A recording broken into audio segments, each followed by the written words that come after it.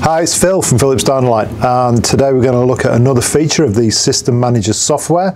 The feature I want to show you guys today is the Alerts feature. So here on the screen I'm going to open my simulation tool and I am going to create a fault. So now I've created a DALI driver fault.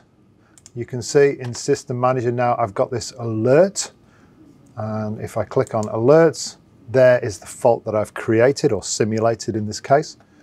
Now if I click on the link it will take me to the lamp manager and it will show me where that fault is on the system. So it's zoomed right in to where the problem is. If I hover over it I can see what my problem is, the driver error.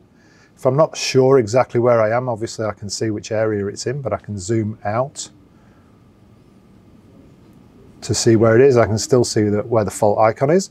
But what you can do on the lamp manager page is you can maintain the fitting. So here, lamp failure, I can open that up. I can see the failure, it's highlighted.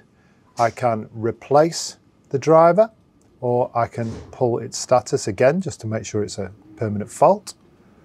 So if I go replace the driver, it opens up the wizard. And by following the steps in the wizard, I can then reconfigure the replacement driver. Now this will work if it's a one for one replacement or if you've got multiple failures, quite often you will go onto site um, to replace multiple drivers at the same time rather than just spending the time and, the, and the, the money to go to site just to replace one driver.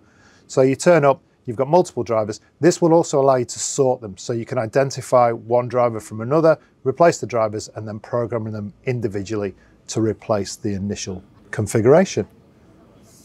And that is alerts with DALI ballast failure.